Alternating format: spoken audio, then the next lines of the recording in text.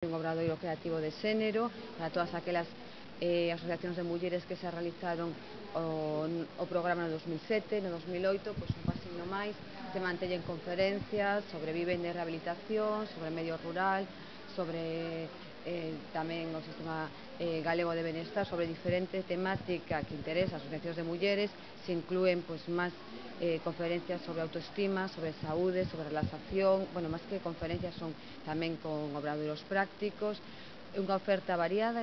Una de esas novedades, y quizá la más atractiva, es un taller literario, Nos tamén escritoras, que nace de la colaboración con la editorial Galaxia. Víctor Freixanes hablaba de la creativa relación de la mujer hoy en día con la literatura. Entre as cousas máis interesantes que os está producindo a literatura galega son as mulleres escritoras, non?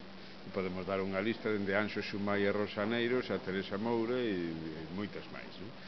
É probablemente unha das mm, das características que nos últimos dez anos eh, estouraron, medraron, e que ademais ten que ver con outro fenómeno que se dá na literatura que é as mulleres lectoras. E hai unha, sobre todo na literatura, lectoras de literatura, non falo de outro tipo de lectoras, a muller vai por riba do home, non? El escritor Francisco Castro será el encargado de coordinar el taller. A min tócame o labor de dinamización e de, mm, e de facerlle entender a todas as participantes que a literatura, sobre todo, é unha fonte de placer. Non? Imos a estar eh, unha serie de sesións eh, escribindo, descubrindo o placer de escribir e demostrando que absolutamente todas e todos pois levamos dentro moito talento e que a través das palabras pois pode eh, agromar ese talento eh, convertirse en poema, convertirse en, en relato, convertirse en definitiva en literatura.